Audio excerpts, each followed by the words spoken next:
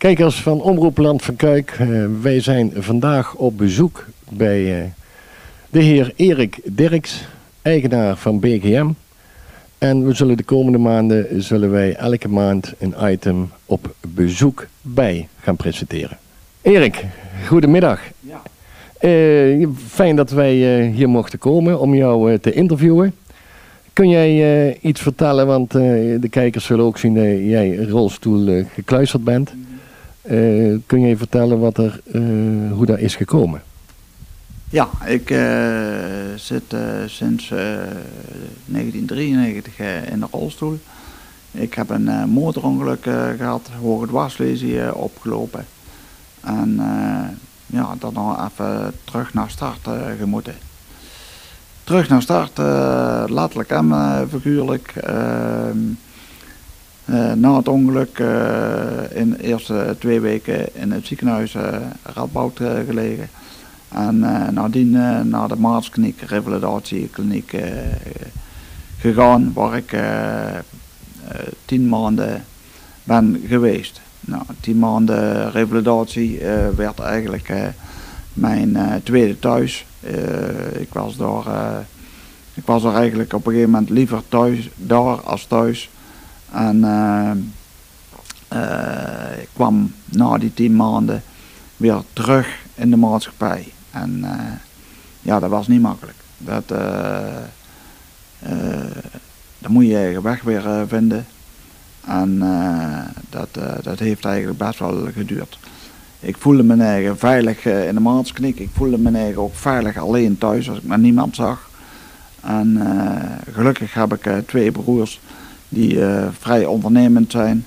En die hebben me eigenlijk uh, zo gezegd uh, uit huis en je komt maar eens weer aan het werk. Heeft lang zat geduurd.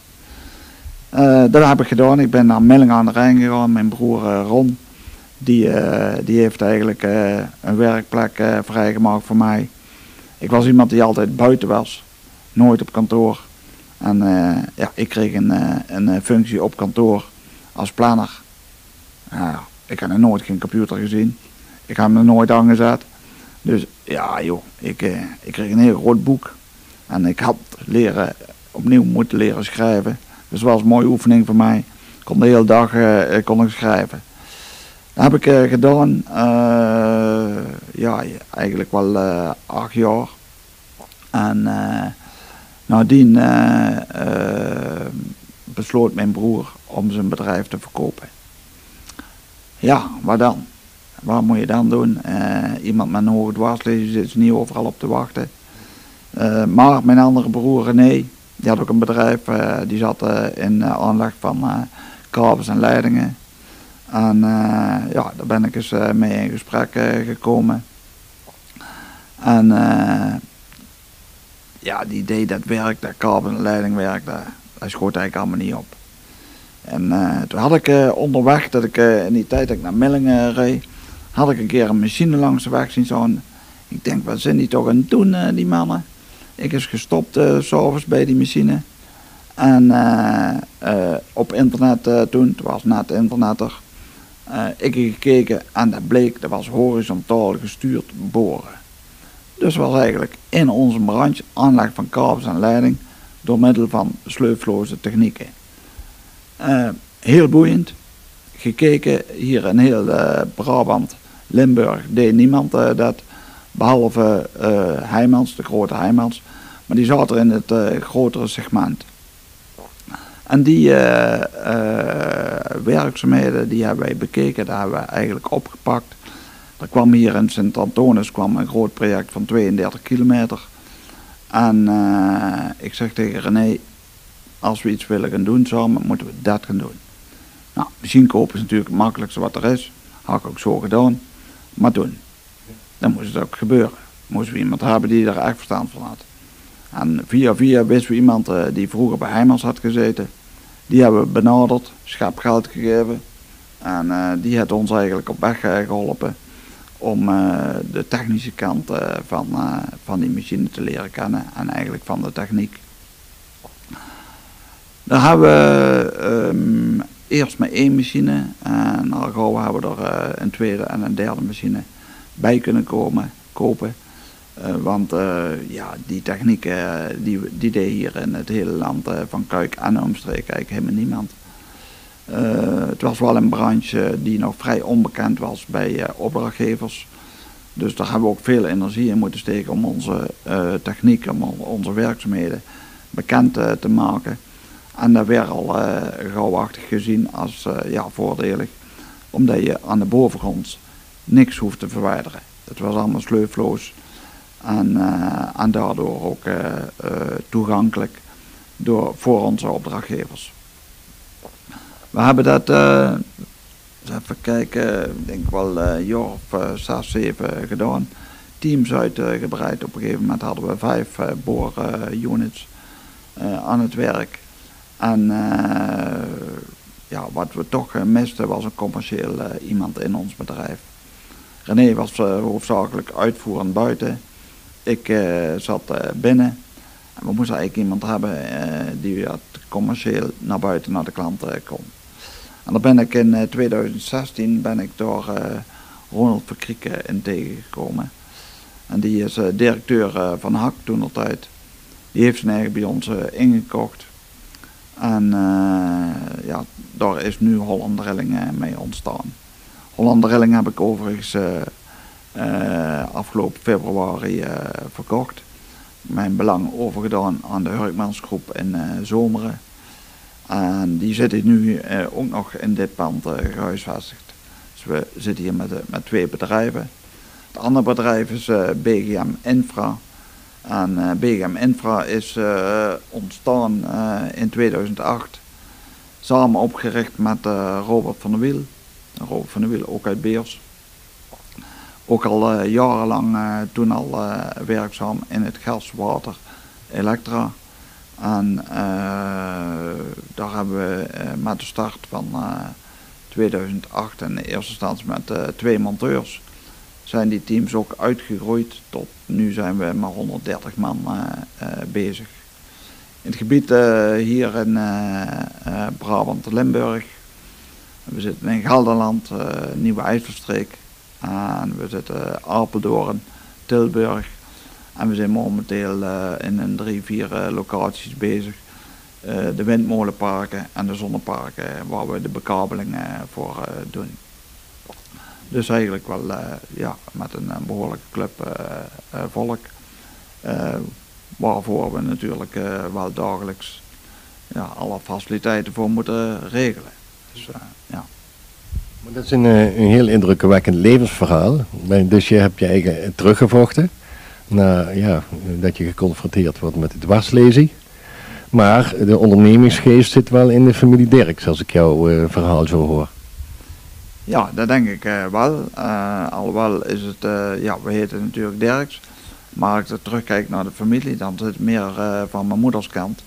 De kant van de jongen. Dat, want al haar broers en zusters zijn ondernemer geweest. Dus ik denk dat het meer van mijn moeder uitkomt. maar inderdaad, ja, we zijn graag zelfstandig. Daarvoor heten we wel Dirks, we zijn eigenwijs. Oké. En uh, ja, de toekomst, jij eh, wordt ook 60, uh, eh, maar je zoon Michael zit nu ook in het bedrijf. Ja, het, wat ik straks zei, ik heb mijn belang in, in Holland Drilling heb ik verkocht. En daarmee ook de beslissingen genomen.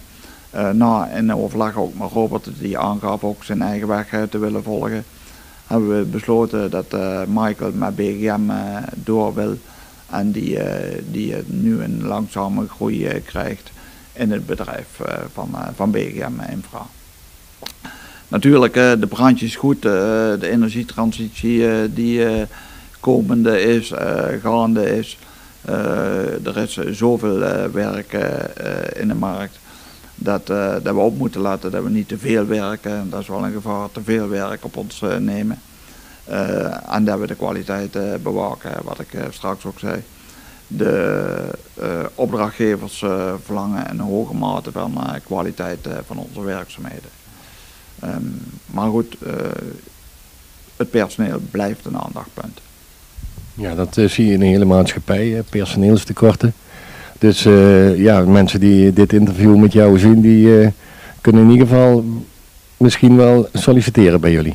Ja, degene die uh, enige affiniteit hebben met techniek en uh, die het ook mooi uh, vinden om in de buitenlucht te werken.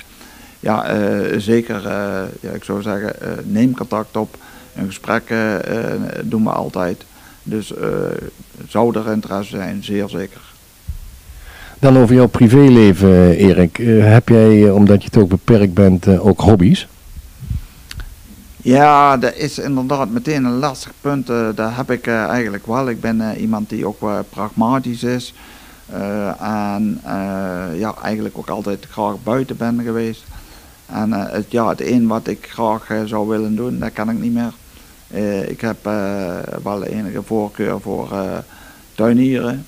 ik vind tuinen vind ik mooi. Anderzijds is natuurlijk motors, auto's en al wat, wat benzine in moet, vind ik mooi. Uh, en dat is juist wat niet meer gaat. Uh, aan de andere kant kan ik mijn eigen eigenlijk ook wel uh, achter een computer behoorlijk mijn tijd mee doorbrengen. Maar dat is wel altijd hetzelfde. Dat merk ik wel. Het, dat is wel, ja, dat is wel een, een, een ding wat, waar ik nog iets op moet vinden. Ja. Het, Want in de toekomst is het verzekerd dat in ieder geval BGM blijft bestaan. Uh, denk je er al zo over na, over, over je oude dag, wat je dan uh, gaat doen? Genieten van de kleinkinderen, maar verder nog meer dingen? Nou ja, goed, en, uh, inderdaad, ik, ik zit er natuurlijk wel eens over te denken, maar ik vind het wel echt moeilijk, hè, omdat je toch iedere keer weer terugvalt achter de computer. En dan, ja, wat zou je leuk vinden? Ik, ik zou het wel eens denken van, nou, ik zit altijd maar in dit bedrijf, ik zou mij wel eens willen bemoeien met, met een ander bedrijf. En je ziet ook vaak uh, ondernemers, in, in mijn kenniskring van ondernemers, dan zie ik wel eens, hé, wat doet hij nou? Van, daar zou ik mij wel eens mee willen bemoeien. En als je daarover hebt, dan, dan, dan heb ik er ook wel een beetje een mening over. over het ondernemerschap. Ik zie veel ondernemers die van mening zijn dat ze alles moeten kunnen. Uh, en daar bedoel ik uh, een ondernemer die begint in een bepaalde branche omdat hij daar goed in is. Maar er komen heel veel, heel veel randzaken bij. En dan zijn er vaak uh, ondernemers die denken dat ze dat ook moeten. Van spreken contractuele stukken lezen, personeelszaken, belastingzaken. Ik zeg ehm, tegen mijn zoon Michael, ik zeg let op, kijk goed wat je niet kunt. Dat is heel belangrijk, is veel belangrijker dan wat je wel kunt. Wat je wel kunt, gaat automatisch. Wat je niet kunt, uh, daar heb je een, een hekel aan. Uh, maar kan ook heel veel tegen je uh, gaan staan. Dus let op, ervaar wat je niet kunt. En wat je niet kunt, in mijn geval, is dat letterlijk en figuurlijk. Wat ik niet kan, ook een ander doen. Erik, je vertelde straks het revalideren. Dat was een, een zware periode in je leven. kun je daar nog iets meer van vertellen? Ja, die, uh, die uh, periode van revalidatie, dat is in eerste instantie is het uh, ongeloof. en denken van, nou, dat komt wel goed. ik had een tijd motocross gedaan. Af en toe is een keer van dat ding afgevallen en het was altijd nog weer aangegroeid. Dus in het begin dacht ik, nou, het duurt een aantal weken en dan, dan kan ik wel weer aan de gang.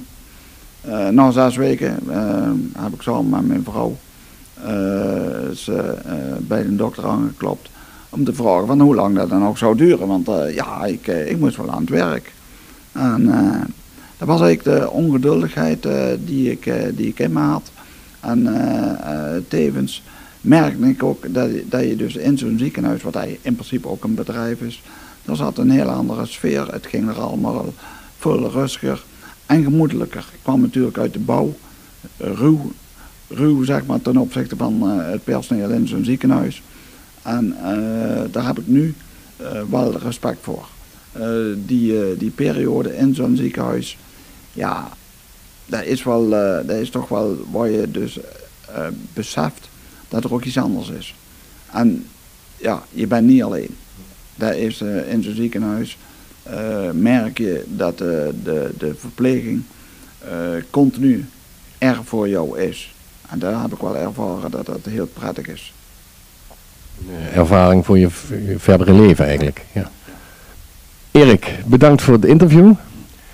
Kijkers uh, van Omroep Land van Kuik, dit was de eerste aflevering van Op Bezoek bij. En we hopen dat we nog uh, veel van deze reportages mogen maken. Tot ziens.